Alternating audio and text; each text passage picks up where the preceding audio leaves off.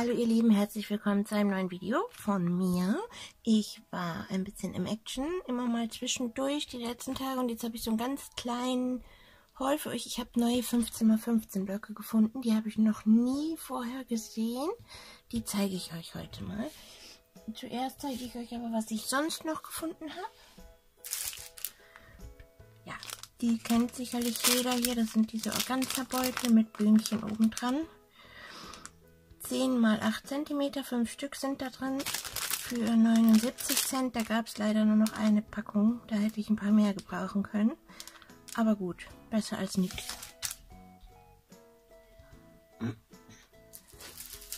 Dann habe ich, ich drehe ja gerade Video zu, Videos zu dem Papierstrohhalm und habe mir nochmal diese beiden Pakete gekauft. Die gab es da jetzt, ich glaube, für 99 Cent.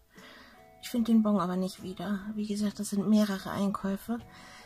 Ähm, da sind 100 Stück drin. Die gibt es in verschiedenen Farben. Ich habe mir einmal lila mitgenommen und natürlich pink. Dann gibt es mit so Schrägstreifen, mit geraden Streifen, mit Punkten, mit so einem Zickzackmuster. Auch dasselbe auch nochmal in lila. Ich weiß nicht genau, welche Farben es noch gab. Ich hatte nur den Blick auf die beiden. Da werde ich euch demnächst auch nochmal ein Projekt mit zeigen. Könnt ihr auch gerne nochmal in meine letzten Videos gucken. Da habe ich auch schon was mit Papierstrohhalm gebastelt und da kommt auch noch ein bisschen was dazu. Dann habe ich mir diese Stoffzuschnitte mitgenommen. Die kosten 1,59 Euro, sind 100% Polyester, 5 Stück, 50 x 50 cm. Das Band hier hebe ich zum Beispiel auf. Das kommt in meine Kiste mit den Schleifenbändern. Und das kann man dann auch nochmal wieder verwenden. So, da ist einmal dieser pinke. Mit so Punkten und Dreiecken. Dann so ein bisschen, was ist das? Lachsfarbe, Koralle. Mit so Blumenmustern. Einmal dieselbe Farbe, nur einfarbig. Dann in so einem quietschpink. Das ist, glaube ich, eher so Lachs. Und dann in pink mit Herzen. Die fand ich ganz süß. Habe ich mir einmal mitgenommen. Dann habe ich mir einmal eine, einen so einen Deko-Zweig mitgenommen. Der hat 99 Cent gekostet. Das sind so Kunstblumen. Der ist ziemlich lang. Den werde ich mir wahrscheinlich abschneiden. Aber ich fand die so schön. Ich dekoriere hier öfter dann so kleine Vasen mit so Kunstblumen drin. Die halten einfach schön lange. Dann habe ich dazu so eine kleine Vase. Ich weiß noch nicht, ob ich die dazu verwende, aber ich fand die so süß.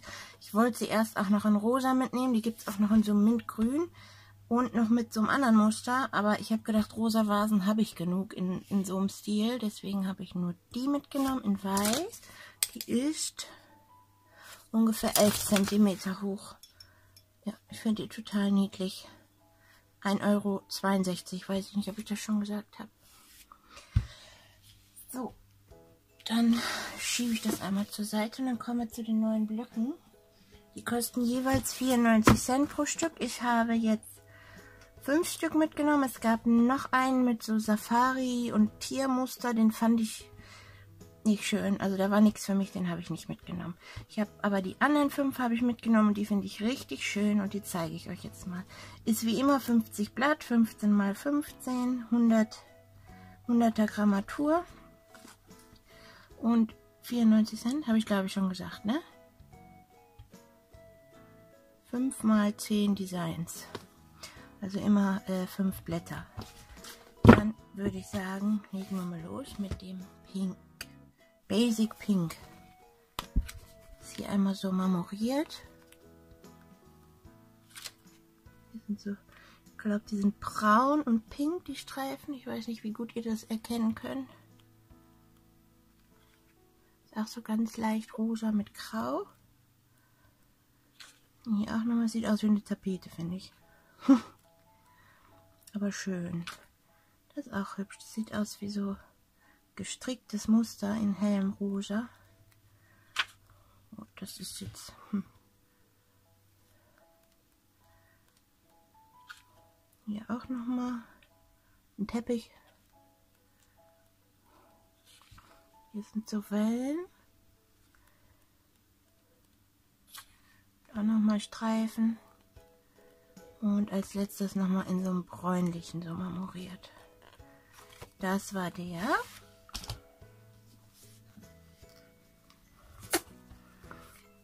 Dann gibt es diesen Fairy Tales. Ist ein bisschen blau, auch wenn es nicht so meins ist, aber ich brauchte diese Fee. Ich zeige euch die gleich. Die ist so süß und ich bastel natürlich auch nicht nur für mich, das ist ja klar. Meistens sogar eher nicht. Hier ist sie, die süße Elfe. Ist die nicht süß? Die finde ich so richtig niedlich. Dann hier so was Dunkles. Ich weiß nicht genau, was das ist. Das sieht aus wie eine Blüte in dunkelblau. Punkte sind auch ganz süß. Dann hier auch nochmal marmoriert in so einem dunkelblau-grau. Das ist aus wie Wasser. Ah, guck, das passt gut zu dem hier. Kann man auch gut zusammen verwenden. Die Streifentapete, das finde ich auch sehr süß mit den Blümchen. Oh, das sieht auch schön aus. So über den Wolkenbild. Dann schwarz-weiß mit so einem ganz leichten rosa, rot, braunton. Aber das finde ich auch richtig hübsch mit den Regenschirmen. Hier nochmal weiße Blümchen auf blau. Und ich glaube, das war der. Dann Loving Home. Finde ich auch schön. So süß. Kleine Sternchen und Krönchen, Schmetterlinge. Dann hier Federn. Jeans. Der passt auch ganz gut zu den Streifen in diesem Block. Das ist gut. Die passen sehr gut zusammen. Ich zeige euch die nochmal. Hier. Kann man gut ähm, zusammen verbasteln. Dann hier auch wieder so ein bisschen schwarz-weiß. Sind ganz viele Tassen, Kopfhörer, Kassetten, Kaffeebecher, Thermoskannen. Auch irgendwie lustig. Das ist so Holz, Parkett oder auch hier sind Streifen. Die passen, glaube ich, hier auch wieder dazu. Oder passen die? Ja. Auch nochmal so Blümchen auf dunkelblau sind auch sehr hübsch. Die passen natürlich auch wieder gut zu diesem hier. Also da passen diesmal die Blöcke total gut zueinander auch. Das finde ich irgendwie klasse. Und das ist hier rosaner Quark. So, dann Happy Colors. Den fand ich so schön sommer, sommerlich. Hier so Regenbogen mit weißen Punkten. Gab es das nicht auch schon mal in einem, in einem 10, äh, 15 x 30er Block? Ich glaube schon. Den Zitronen und den Rosan. Dann hier auch nochmal so marmoriert.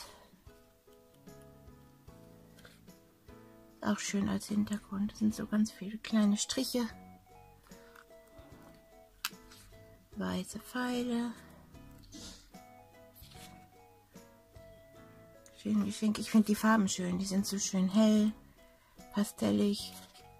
Hier einmal Herzchen. Und Schleifen. Das ist ja sowieso immer meins. Und dazu auch noch mit Punkten. Da werde ich schwach. da sieht auch schön aus. Das sieht aus wie so Glitzer. Obwohl es gar nicht glitzert. Und als letztes sind hier nochmal so ganz kleine Blümchen total zartes Muster, auch richtig hübsch. Und dann habe ich hier noch Lovely und Sweet. Da fand ich auch die Püppchen so süß und diese Punkte. Ich zeige es euch mal. Gut. Knutschlippen.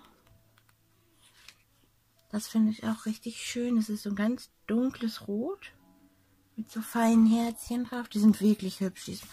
Und jetzt mal im Ernst. Wie süß sind bitte diese Püppchen? Oh. Also, ja, das ist jetzt rot. Kann man als Hintergrund auch super verwenden. Die kleinen verliebten Kaffeetässchen hier mit ihren mit ganz viel Herzchen. Und Punkte. Blumen.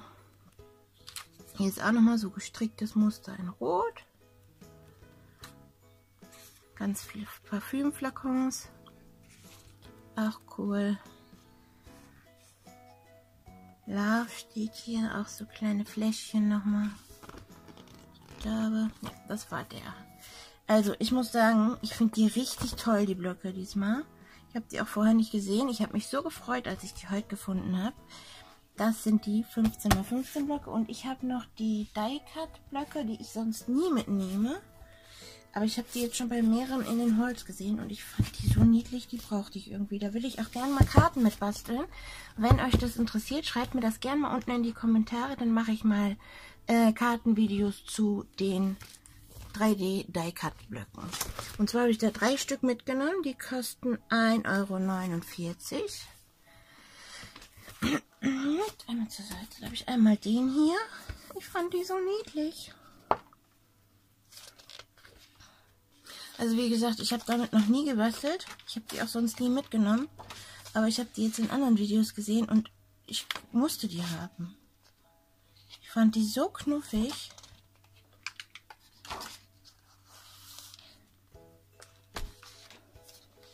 Ist das nicht süß? Und der Bär mit dem Knutschi auf der Wange.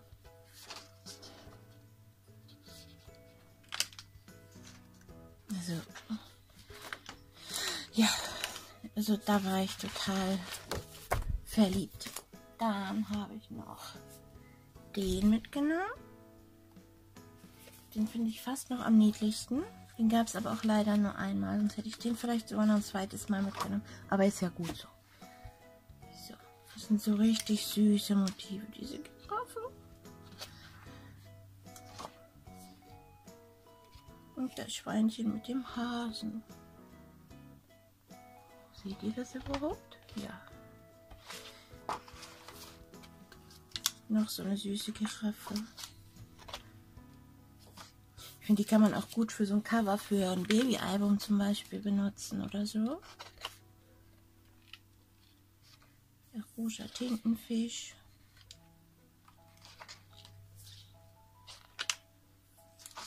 Entschuldigt bitte das Brummen im Hintergrund. Mein Mann mäht gerade den Rasen. So süß. So, das war der. Und dann habe ich noch ein, der war so schön tropisch und sommerlich und so Hawaii angehaucht.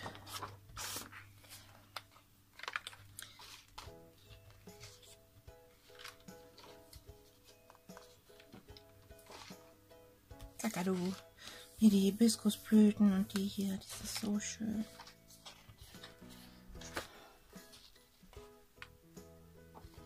Bisschen Eis.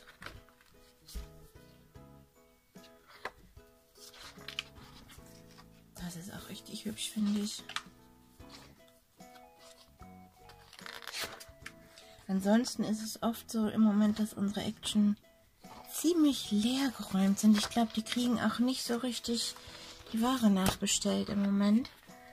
Ich äh, war jetzt in mehreren Action und das ist wie gesagt nicht ein Einkauf von einem Tag. Das ist äh, schon eine Weile. Die habe ich heute geholt, die kleinen. Aber äh, ich weiß nicht, wie das bei euch in den Action-Filialen im Moment aussieht. Die kommen irgendwie nicht hinterher im Moment mit bestellen. Aber gut, ich hoffe, irgendwann kommen auch wieder bessere Zeiten. Ich hoffe, euch geht's allen gut. Ihr bleibt schön gesund.